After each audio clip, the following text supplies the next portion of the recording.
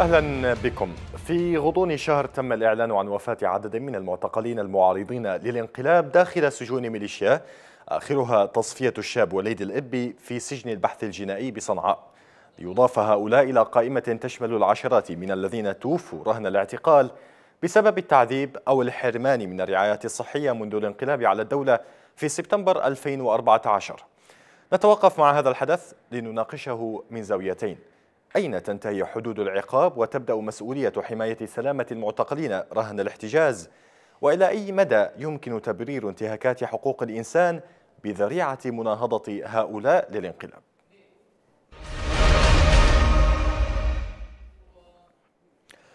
إذا يشير تزايد حالات الوفاة المعلن عنها في سجون الميليشيا إلى تفاقم أوضاع الاحتجاز التي يعيشها المختطفون في سجون الانقلابيين بصنعاء. فبالإضافة إلى تحذير العديد من المنظمات الحقوقية من سوء أوضاع المختطفين والمصير المجهول للمئات من المخفين قسرا خرجت منظمة هيومن رايتس ووتش لتؤكد أنها وثقت مؤخرا حالتي وفاة رهن, رهن الاحتجاز و11 حالة تعذيب وسوء معاملة بينها حالة الاعتداء على طفل. ودعت منظمة هيومن رايتس ووتش الميليشيا في صنعاء إلى إخلاء سبيل المحتجزين فورا والكف عن إعاقة وصول المحامين والأهالي للمحتجزين. التعذيب والانتهاكات الجسيمة للمعتقلين في سجون الميليشيا هو موضوع حلقتنا الليلة من زوايا الحدث. لكن قبل أن نبدأ النقاش نذهب لمتابعة هذا التقرير للزميل صقر الصنيدي ومن ثمن عود. وهم يغنون له. لم يدر في خلدهم أن يأتي اليوم الذي لا يستطيعون فيه حتى رؤية جسده الذي عذب في السجن. سبعون يوما هي الفاصل بين يوم زفاف وليد الإبين في منطقة الجراف بصنعاء وبين اليوم الذي أخذته ميليشيا الحوثي من ذات المكان إلى أحد سجونها. وهناك تم تصفيته بعد تعذيبه والتحقيق معه. ووفقا لأحد أفراد أسرته والذي تحدث في اتصال لقناة بلقيس.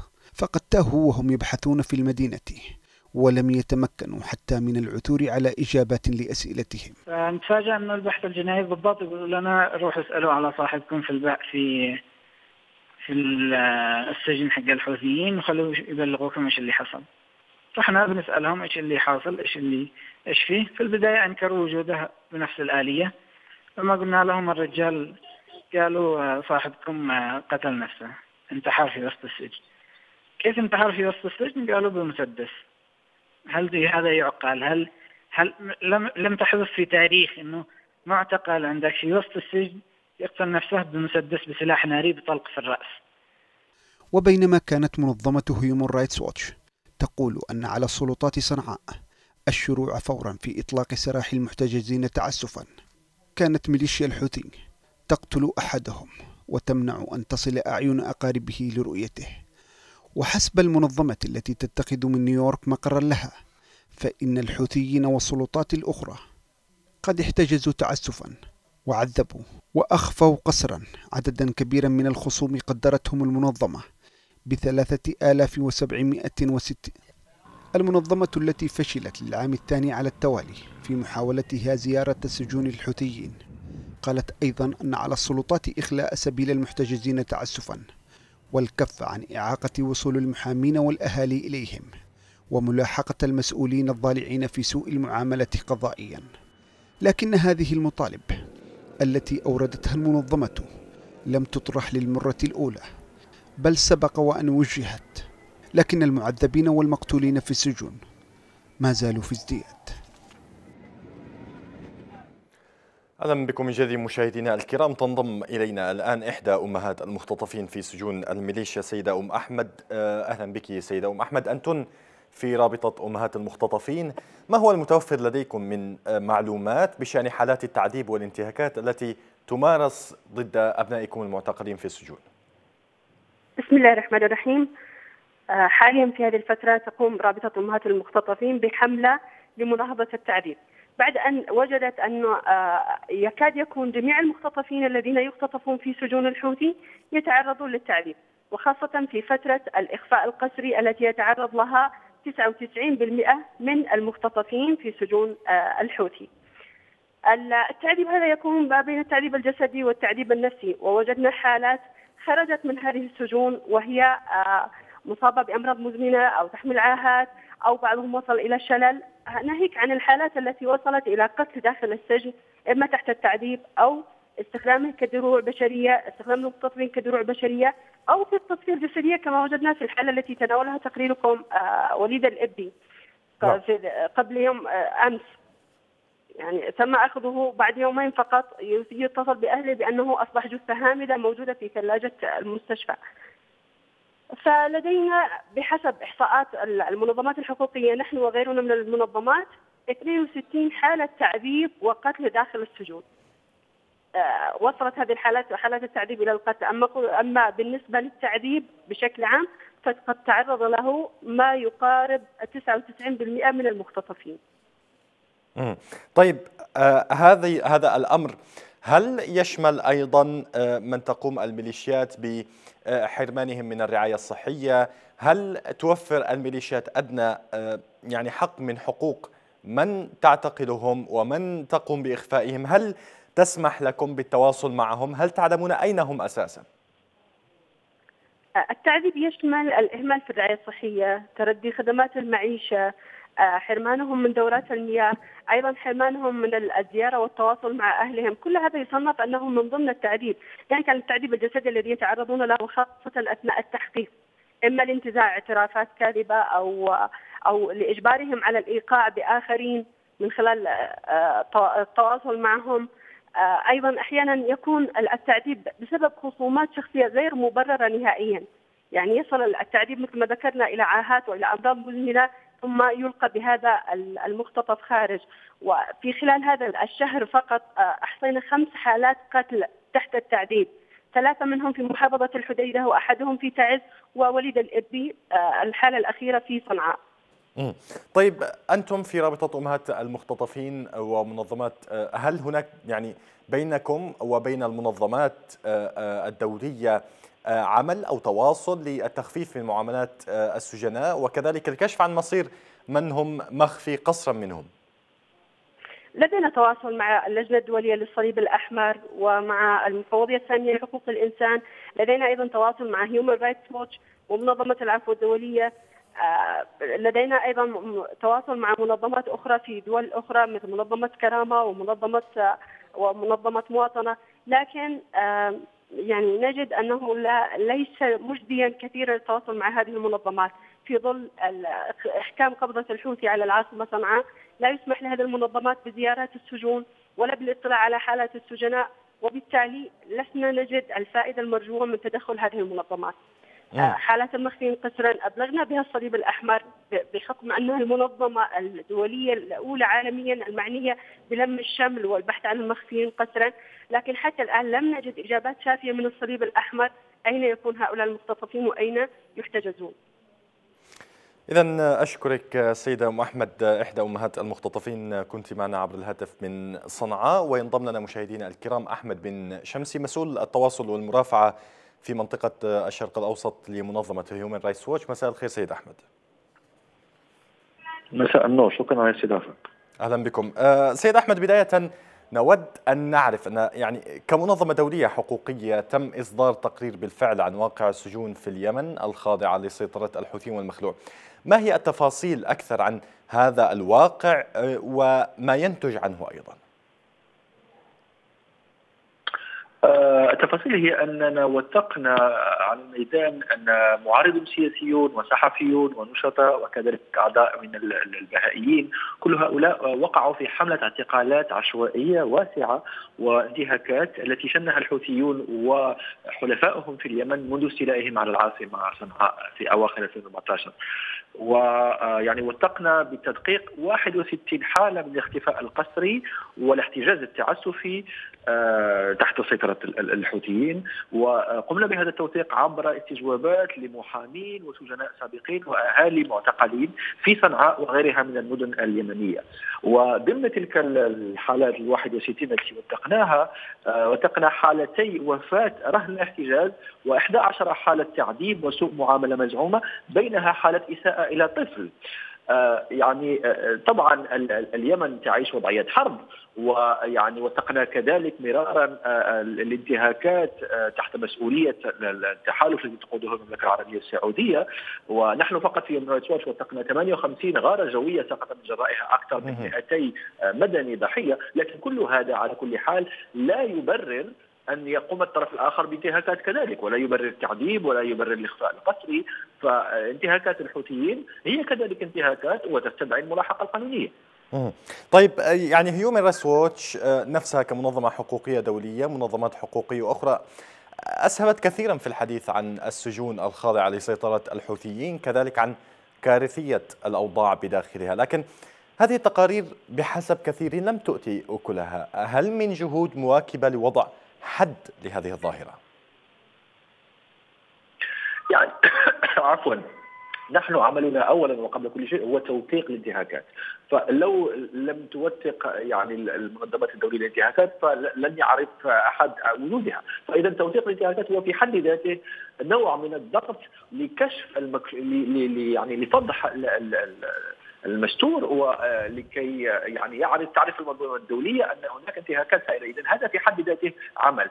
بعد ذلك يعني نحاول أن نتواصل مع مع المسؤولين وأن كذلك نتحدث مع يعني أعضاء في المنظومة الدولية والدبلوماسيين لكي نمارس أكبر ضغط ممكن على المسؤولين لكي يعني آه، يأخذون الإجراءات اللازمة، فنحن ما نطالب الآن من السلطات.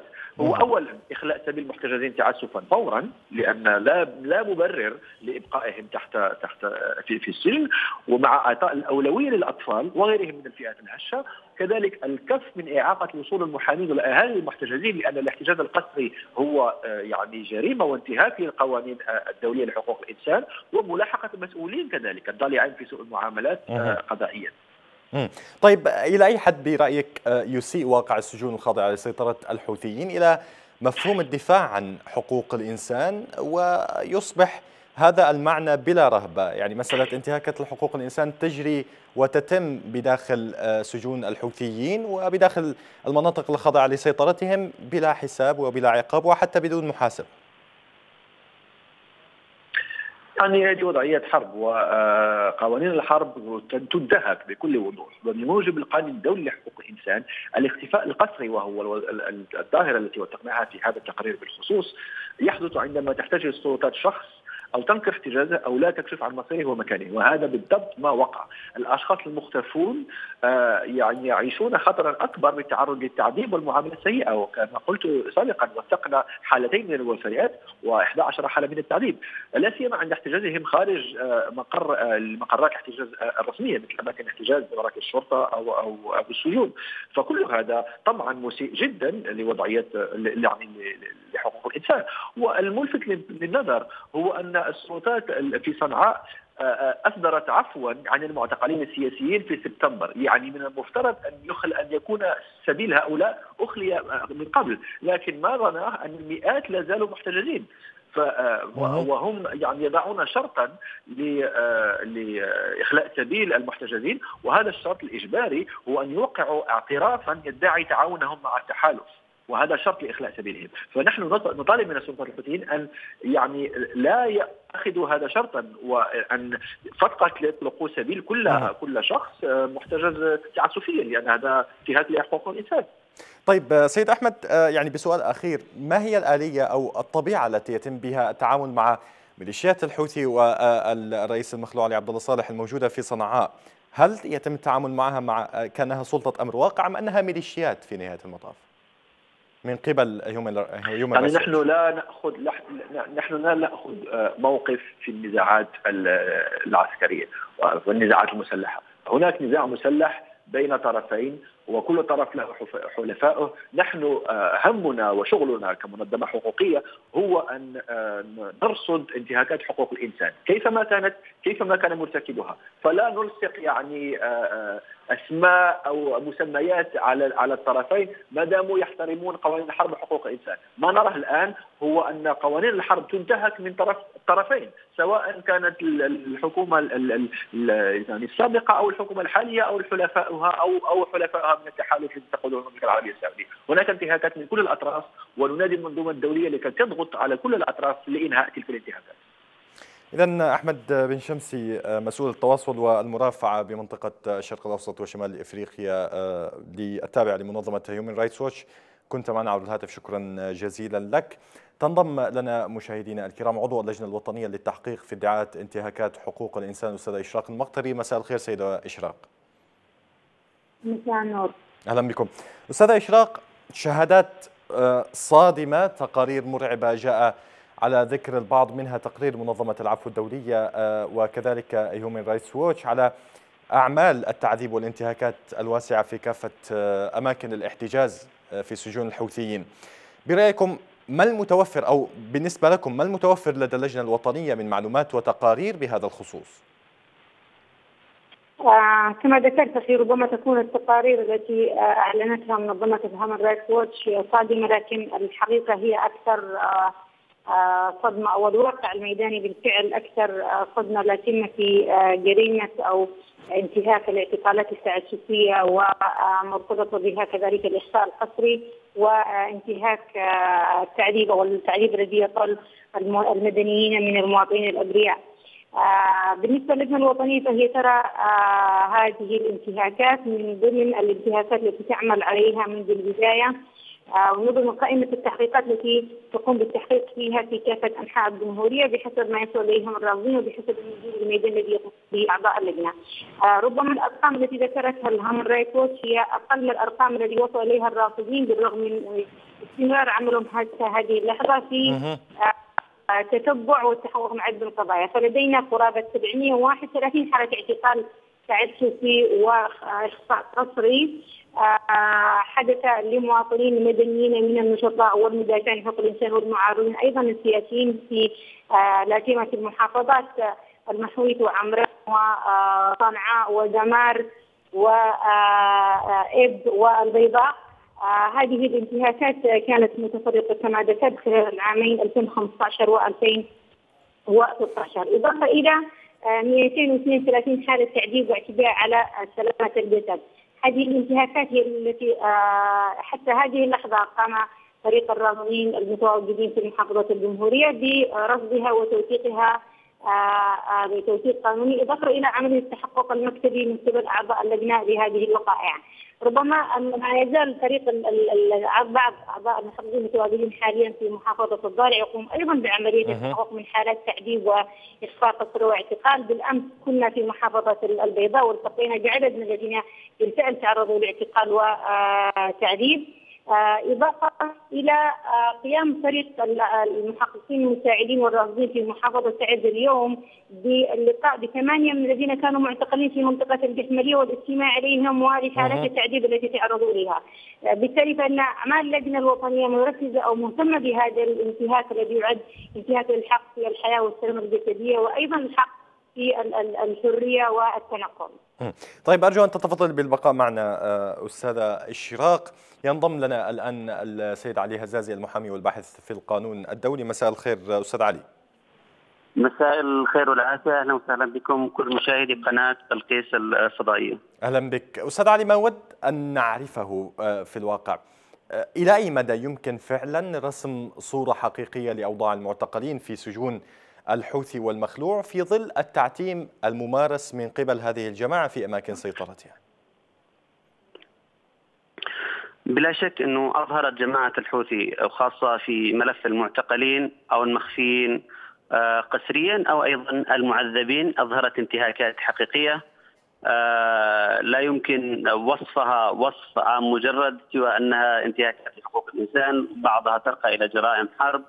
البعض الآخر يمكن أن أن نوصفها توصيفا قانونيا بأنها إخفاء قسري وفقا لاتفاقية الاتفاقية الدولية للإخفاء القسري عام 2006 أو اتفاقية أيضا مناهضة التعذيب كلها هذه تتوفر عناصرها في الجرائم التي ارتكبتها جماعة الحوثي وصالح معها أيضا في حق المدنيين الذين أخذتهم من بيوتهم أخذتهم قسريا أو عذبتهم بعضهم حتى الموت والبعض الآخر خرج بعاهات مستديمة والبعض الآخر ما زالت الآثار النفسية أيضا لهذه الانتهاكات. طيب يعني كحقوقي آه، سيد علي وأنت مطلع على القانون الدولي وقانون حقوق الإنسان أين تنتهي حدود العقاب لهؤلاء في فرض أنهم آه، كانوا آه، يعني التهم التي تم اختطافهم أو اعتقالهم وفقا لها كانت صحيحة، أين تنتهي حدود عقابهم؟ اولا لا يمتلك جماعة الحوثي صالح أي آه، سلطة قانونية في مواجهة هؤلاء أو اعتقالهم واحتجازهم باعتبارهم سلطة آه، باعتبارهم جماعة انقلابية كما وصفهم القرار 2216 آه، يعتبروا جماعة انقلابية اعتقالاتهم أو احتجازاتهم تعتبر احتجازات تعسفية أو اعتقالات تعسفية لعلكم أيضا أشرتم إلى تقرير منظمة العف... منظمة هيومن رايتس التي وصفت هذه الجرائم وإن كانت على استحياء أيضا وبخطوة متأخرة وصفت بأنها جرائم تعذيب أيضا وجرائم إخفاء آه، قسري وكما قلت أيضا آه، أيضا احتجاز تعسفي لا تملك جماعة الحوثي أي سلطة اتجاه هؤلاء المدنيين في احتجازهم لأن أيضا آه، هذه احتجازات أو اعتقالات خارج القانون وهي جرائم لا تسقط بالتقادم. يعني بإمكان هؤلاء الضحايا في أي وقت من الأوقات بعد حتى مرور مئات السنين أو أكثر أو أقل كما أشار إلى ذلك أيضا القانون الدولي اتفاقيه مناهضة التعذيب باعتبارها جريمة لا تسقط جرائم التعذيب جريمة لا تسقط نعم. بالتقادم وباعتبار أيضا جرائم أخرى ارتكبت أيضا حتى دستور الجمهورية اليمنية القائم الآن يشير على انه جريمة التعذيب جريمة لا تسقط بالتقادم، أيضا ما يسمى الظرف ظرف الحرب أو العدوان أو ما ما يطلقه من من تقولات أو تخرصات جماعة الحوثي. لا تبيح له ان أن يحتجز تعسفيا أو ان أن يعتقل تعسفيا ولا تبيح له أيضا أن يخفي قسريا لأنه في نص لو تقرأ اتفاقية الإخفاء القسري تحت أي ظرف من الظروف لا يمكن التعذر بمسألة الإخفاء القسري، لا يجوز الإخفاء القسري في أي ظرف من الظروف. طيب أرجو أن تتفضل بالبقاء معنا. السيد علي أعود إلى الأستاذة إشراق المقطري سيدة إشراق يعني هذا الوضع بهذه ال ال ال يعني بالزخم الذي يعني يوجد فيه وكذلك بالتعامل الذي تتعامل به منظمات الدولية إلى متى سيستمر؟ إلى متى سيستمر التعذيب في سجون الحوثيين؟ إلى متى ستستمر الانتهاكات من قبل الانقلابيين على المواطنين اليمنيين؟ آه، ربما كما ذكر الزميل في مداخلته حول الوضع القانوني للمعتقلين وحول آه، آه، جرم هذه الانتهاك الذي يمس كما ذكر سواء الاتفاقيات الخاصة بمناهضه الاخفاء القسري أو اتفاقيات مناهضة التعدي بشكل عام وكل قواعد وعرف القانون الدولي الذي يجرم المساس بالحقوق الحرية. آه لكن آه، ربما يكون الدور كبير على سواء على المؤسسات الوطنية المتمثلة باللجنة الوطنية للتحقيق أو غيرها من المؤسسات إضافة إلى المنظمات المدنية ومنظمات المجتمع المدني هي عملية الضغط للحد أو توقف مثل هذه الانتهاكات آه لكي لا تستمر ولكي لا يكون هناك قائمة كبيرة وإضافية من المعتقلين وضحايا هذه الجريمة. ربما قد لا تكون الوثائق أو التقارير آه مدعاة أو مدخل لتوقف مثل هذه الانتهاكات لكن إصدار أو إظهار هذه الحقيقة وهذا الجرم والحجم الحقيقي للضحايا بالتأكيد سوف يؤثر.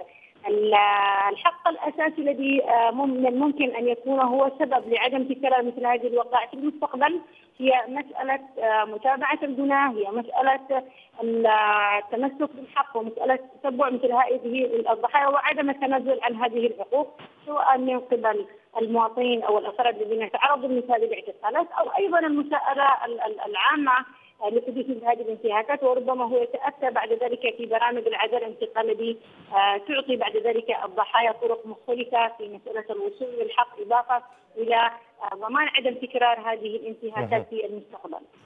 أشكرك أستاذة إشراق المقطري عضو اللجنة الوطنية للتحقيق في ادعاءات انتهاكات حقوق الإنسان كنت معنا عبر الهاتف أعود إلى السيد علي هزازي سيد علي تحدثت أستاذة إشراق على أن الإحصاءات التي تقوم بها المنظمات العالمية تخفي جانب أو يعني تغض الطرف بشكل أو بآخر سواء بالناحية مقصودة أو غير مقصودة عن العديد من الانتهاكات برأيك هذا الأمر لماذا يحدث؟ هل هي إشكالية في من يمثل هذه المنظمات على الأرض أم أن هناك صعوبة في عملية الرصد وهل من يعني إشكالية قانونية تواجه هذه المنظمات وفقا لذلك؟ آه، بلا شك أنا كنت قلت سابقا أنه تعتبر خطوة جيدة ما قام آه، ما قامت به أخيرا اذا منظمة هيومن رأيتس لكن آه، الملاحظات التي أنا سأذكرها هي يمكن أن توضح تساؤلك الذي تساءلت فيه. ستجد أنه لو عملنا مقارنة بين التقارير الموازية التي صدرت سواء من تحالف رصد للانتهاكات أو من منظمات أخرى حقوقية عاملة في الميدان سواء في صنعاء أو غيرها من محافظات الجمهورية اليمنية وتقرير منظمة هيومن رايت هيومن رايتس وأيضا لو عملنا مقارنة بين ال ال ال الانتهاكات وما أشير إليه سنجد أيضا عدد من المفارقات، أول هذه المفارقات إنه آه هذه المنظمة أشارت إلى مسألة وجود انتهاكات وهذه حقيقة لا يمكن أن يختلف عليها اثنان، انتهاكات الحوثي أصبحت واضحة، القتل أيضا آه لعلكم تابعتم جيدا قضية آه، حدثت في في هذا الأسبوع وهي قضية وليد الأبدي الذي أخذ من بيته نعم. من منتصف الليل وأمام أطفاله. ثم يحتجز في آه، سجن البحث الجنائي بعد خمسة أيام آه، هذا يوجد هذا الشخص وقد أصيب بطلق ناري في رأسه ما زال موجود في مستشفى الكويت. جريمة تعذيب وقتل في في داخل سجون الحوثي. هذه الجريمة وحدها كفيلة بأن يصدر تقرير دولي وأن آه، تقرر المنظمات الدولية فرض عقوبات على جماعة الحوثي كونها لماذا لا يحدث ذلك؟ التعذيب حتى الموت. لماذا لا يحدث ذلك إذن؟ أنا أرى أن هناك أيضا نوع من ال ال ال المداهنة أو عدم التحدث بصراحة في في مسائل حقوقية وخاصة من منظمات دولية لها حجمها، أنا أستغرب وأنا أقرأ تقرير هيومن رايتس في بعض الألفاظ التي وردت على استحياء وعلى خجل يزعم أو مزعومة حالة تعذيب وسوء معاملة مزعومة. بينما هي تقول انها حققت في الموضوع. أيضا آه، المدير التنفيذي لهذه المنظمة تقول ستكون سلطات صنعاء عرضه للخطر لخطر الملاحقة القضائية في المستقبل إذا لم تعالج أوضاع المحتجزين. هي ارتكبت جرائم. ومنظمة هيومن رايتس أيضا أظهرت بعض من هذه الجرائم في القانون الدولي. إذا ثبتت جريمة قتل واحدة ضد جماعة تعتبر منتهكة للقانون طيب، الدولي طيب وتستوجب المساءلة القانونية. لكن وكما قلت لك أن هناك في آه، تلاعب ببعض الألفاظ وهو ما ندعو إليه المنظمات الدولية إلى تحري الدقة وخاصة أننا آه، كلنا نتطلع إلى أن يكون لها دور فاعل حتى لا يفقد الناس الثقة بهذه المنظمات أو تصبح أداة سياسية بدل أداة لإنصاف المظلومين والمنتهكة آه، حقوقهم. نحن اليوم أمام جرائم نعم. متعددة. ما ذكر لا يمثل الحد الأدنى من جرائم طيب وانتهاكات الحوثي. الرقم الذي أشارت إليه 3700 منظمة هيومن رايتس آه، وقالت تناولته إعلاميا. هذا رقم قدم بالوثائق إلى آه، إلى مشاورات السلام في في الكويت. وهو رقم حقيقي. قدمته أيضا بعض المنظمات رقم أكبر من هذا الرقم. يخرج يوميا عدد أيضا لا ننسى هذه القضية يخرج عدد يوميا من سجون الحوثي ويدخل عدد آخر. لو تناولنا نعم. عدد المعتقلين منذ بداية الأحداث في 2014 إلى أشكرك. اللحظة لوجدنا أعداد مهولة جدا. إذا أشكرك المحامي والباحث في القانون الدولي السيد علي هزازي. كنت معنا في هذه الحلقة. في ختام هذه الحلقة مشاهدينا الكرام أذكركم بأن تظاهرة إلكترونية واسعة مناهضة للتعذيب في سجون ميليشيا الحوثي والمخلوع انطلقت مساء اليوم. بدأ المئات من النشطاء والحقوقيين والإعلاميين المشاركة في هاشتاج أوقفوا التعذيب في اليمن على مختلف مواقع التواصل الاجتماعي.